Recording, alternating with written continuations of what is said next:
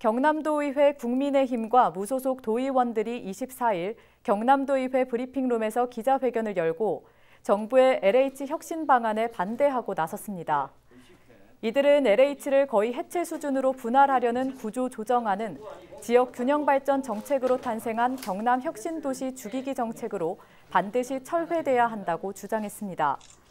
이어서 현재 방식으로 구조 조정이 되면 LH는 공기업 역할을 수행하기 어렵다며 각종 공익사업과 지방세수가 중단된 지역의 균형 발전 정책에 역행한다고 말했습니다.